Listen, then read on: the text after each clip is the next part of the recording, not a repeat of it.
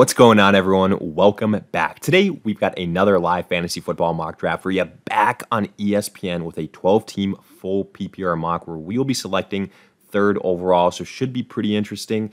And while we wait for this thing to kick off, a quick reminder if you enjoy, hit that like button, subscribe, give us a follow on Twitter at All Day Pigskin to continue interacting with us there. Let us hear it in the comment section. Do you agree, disagree, along with any other questions you guys might have? We'll do our best to answer them all. But with that being said, let's dive into it. The draft is officially underway. With the first pick, I expect Christian McCaffrey. Uh, I'd be shocked with anything else. You know, uh, then two, probably either Breece Hall or CeeDee Lamb. And at three, you know, we've got a decent uh, chance at two guys that I like at the running back position in Breece Hall or Bijan Robinson. Or we could go with a Tyreek Hill now, I will say in the mock draft that we've done on ESPN, there's a higher chance that um, a running back falls to us in the second, third round. But in the last one, we kind of got burnt, got sniped a lot. So let's just go land a running back right here with Breece Hall, a guy that we like. And let's see what happens with the wide receiver situation in the late second round. You know, I, I will say when you're picking at the start here of uh, of the first round, the first three, four picks, it's tough. Uh, it can be tough because you know there's a lot of good options. I, I, I would argue at the uh, at the start of the draft if you want to go wide receiver or if you want to go running back. Um, but then you kind of open yourself up to getting sniped, to uh, missing out on a lot of players. Uh, because anytime you're on either end of the extreme, you just have to wait so long in between picks that, uh, you know, guys that might be falling, uh, well, essentially much, much lower chances that they actually get back to you in the following round. But look, either way, that's more draft philosophy than I want to actually get into in this actual mock draft. Let's actually take a look at the selections. Looking at the pick history, obviously we had McCaffrey and CeeDee Lamb, who we saw go before us. Then we selected Breece Hall, then Bijan Robinson. So I like to see that the top three running backs uh, were three of the first four picks. I really, really endorse that. You guys know how I feel about um, running backs and their importance. I think basically, uh, if you haven't heard my spiel already, they're still king.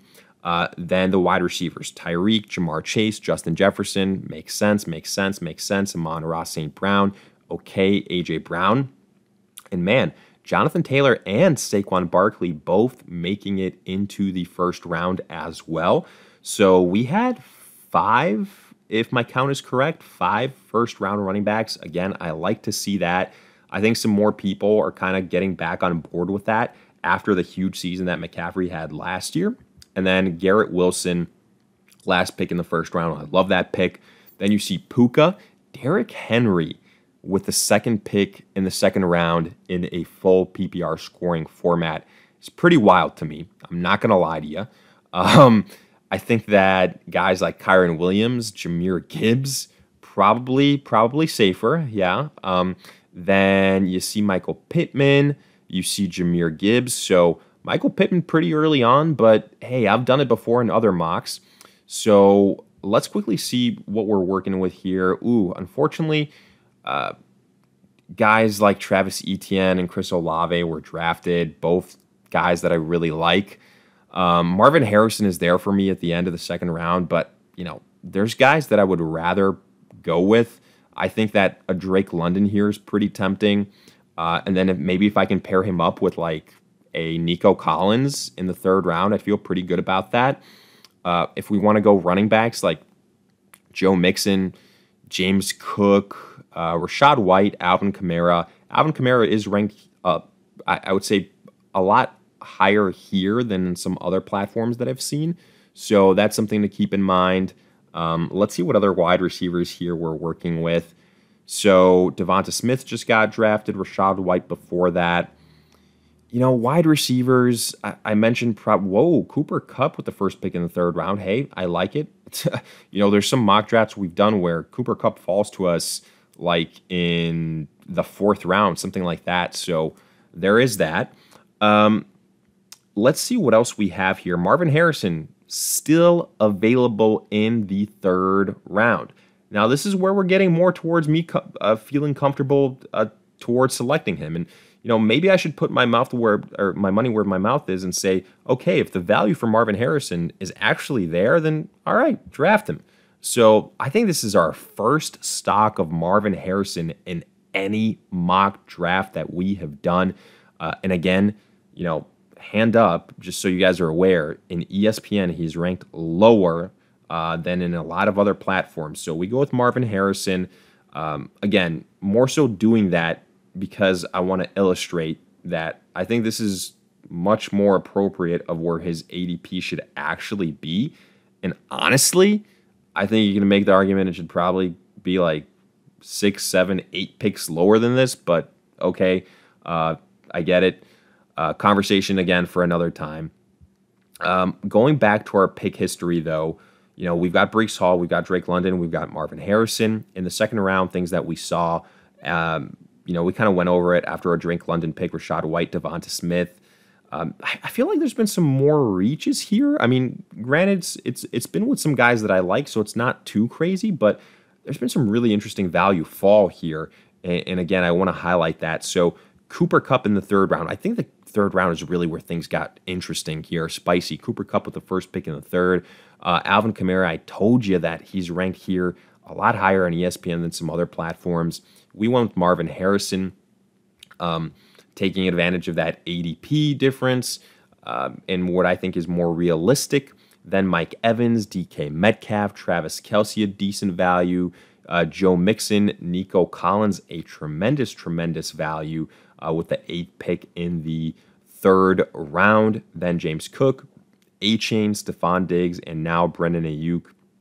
So again, really good value on some of these guys with Aiyuk. These, uh, you know, I don't want to call them middle tier wide receivers. I think they can still be top 12 wide receivers in Diggs and Aiyuk, something like that. Uh, Sam LaPorta, second, or yes, second tight end drafted after Travis Kelce, who was drafted with the sixth pick in the third round. LaPorta goes with the first pick in the fourth. So I, I do think most people have them as like either one or two, kind of interchangeable. Uh, then Deebo Samuel with the second pick in the fourth round. So right now we're pretty good on wide receivers, honestly. Like we've got Drake London, we've got Marvin Harrison, guys that I'm really high on. Ooh, a guy that I was also really, really hoping would fall to us in Josh Jacobs does not, in fact. So now at the running back position, unless there's a huge run, like we're looking at guys like Kenneth Walker, Aaron Jones. So, I mean, just going back to the pick history, I think that if we hadn't gone with Drake London or Marvin Harrison, like instead of Drake London, we could have gone Rachaad White, or we can have gone Alvin uh, Kamara first, and then selected another one of those um, wide receivers. We also passed on Mixon. We passed on James Cook, Josh Jacobs. I, that would have been way too early for Josh Jacobs. I think way too early for James Cook. Um, so, uh, you know, I, I, I, can't be too mad about that. Josh Allen was selected. Uh, Kenneth Walker was selected. I think here our best bet is to go with Aaron Jones.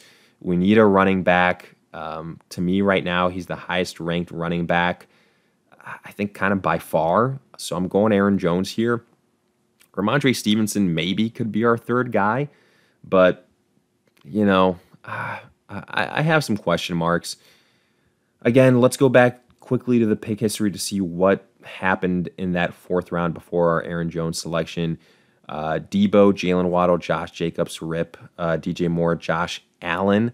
I believe that was the first quarterback selected, right? Josh Allen, uh, unless I'm missing somebody. Uh, did I miss any other quarterbacks get selected? I don't think so. We'll see. Uh, Josh Allen, Anthony Richardson, super high up. Kenneth Walker, Mark Andrews, Aaron Jones, Calvin Ridley, Lamar, Malik Nabers, and now David Montgomery. Yo, we're still on the clock, and and, and Hurts and Mahomes are still there. Like, that's kind of tempting, but so is Trey McBride. Ooh, I already have Marvin Harrison, though. Man, I really. Uh, but that's a really good tight end advantage. I think I might go with Trey McBride here. And I can't believe I'm doubling up on the Arizona Cardinals of any teams, you know, as far as fantasy football is concerned. But damn, all right, I guess we did it. Uh, Trey McBride, and Marvin Harrison. So, um, you know, a lot of eggs in one basket. Probably looking at it, back at it.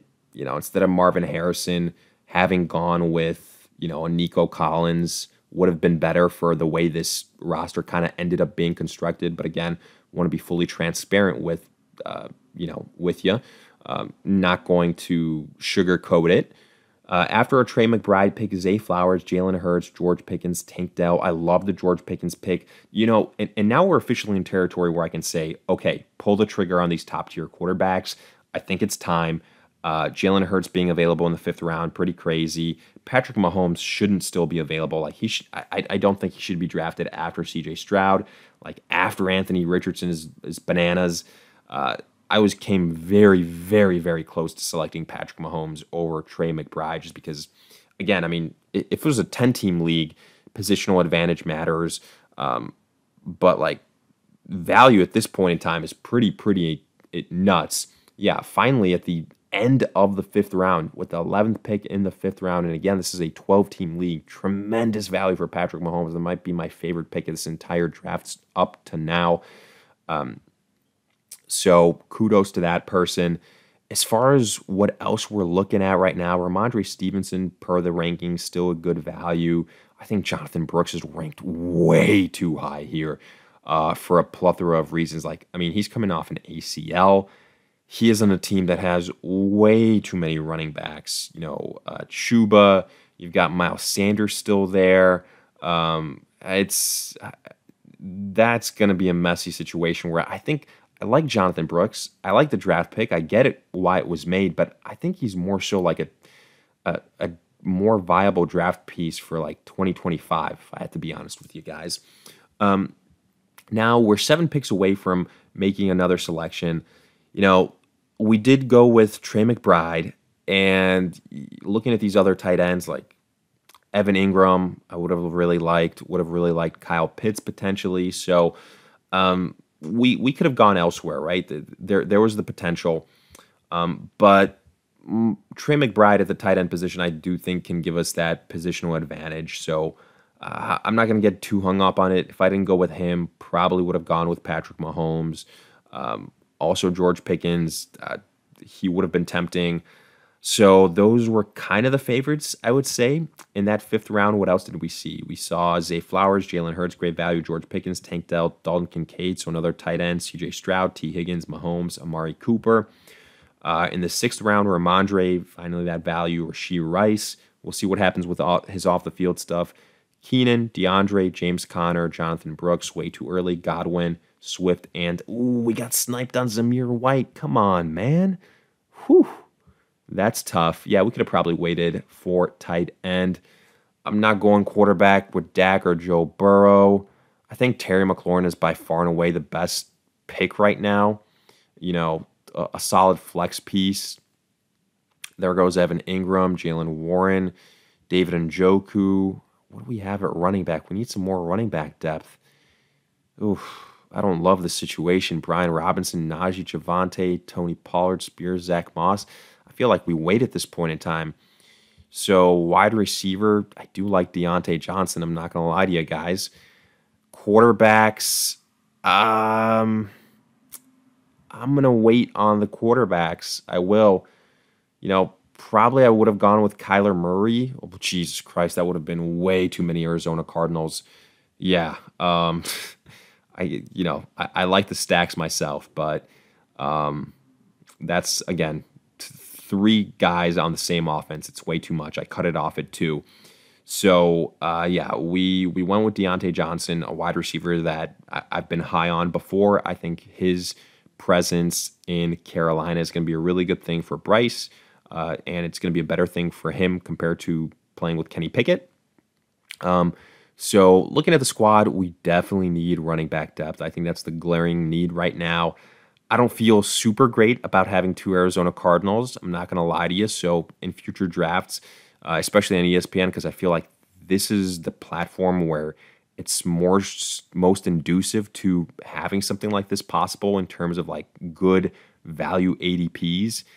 Um, maybe looking at another wide receiver or another another tight end, being a little bit more patient with like a Kyle Pitts or an Evan Engram.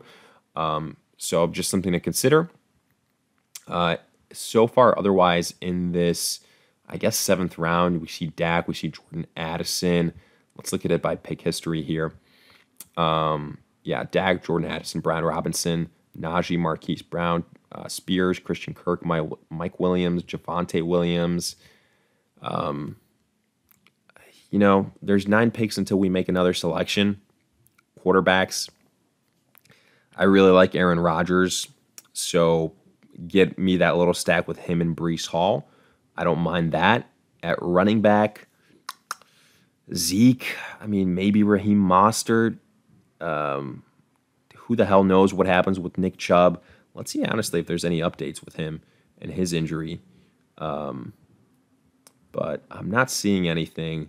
I mean, yeah, basically uncertainty of Chubb's eventual recovery from knee injury. Um, approach with caution. That's pretty much what I've said since uh, since May, since I don't know when. Right? Um, basically, we need to have more information. uh, long story short, so Jerome Ford could be just the better pick overall. Um, right now, I guess just go and get our quarterback. You know, go and get Aaron Rodgers. A uh, little bit of a reach at this point in time, but um, I think we're going to only make one more selection and kind of wrap this thing up. I'm seeing a lot of auto picks, stuff like that. So Austin Ekeler just got selected. We need to add another running back here. So, you know, Singletary, Chubb, Quorum, Jerome Ford. I feel like Jerome Ford is the one that makes more sense uh, right now just because there's so many question marks. I mean, you got Gus Edwards with the Chargers, but Dobbins is also there. So I guess maybe Chase Brown is also an option, but I'll go with Jerome Ford.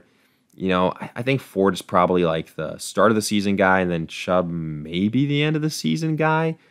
Big maybe, big question mark. So that's how I'm going to treat it, though. But overall, I think it's a good place to kind of wrap things up. We filled out our starting roster. We've got some bench pieces as well.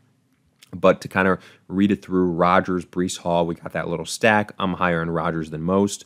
Aaron Jones. So, yeah, I mean, big kind of drop off from the first to the second overall running back spot, but you can kind of afford to do that when you've got a high octane guy like Hall. Wide receivers I like, you know, Drake London, good value, Marvin Harrison, good value, or better value than other platforms. McBride, good value. I like McLaurin. Then Diontae Johnson, Ford. So not too bad, but I think we could switch the order up on some stuff here. Uh, you know, maybe have gotten like an uh, Alvin Kamara, um, as their second overall running back. So I, I think that would have looked a little bit better and then uh, been a little bit more patient with Kyle Pitts. But overall, I think a decent exercise. Let me know your guys' thoughts in the comment section. If you enjoyed, hit that like button, subscribe, give us a follow on Twitter at All Day Pigskin to continue interacting with us there. But in the meantime, we'll see you guys in future videos.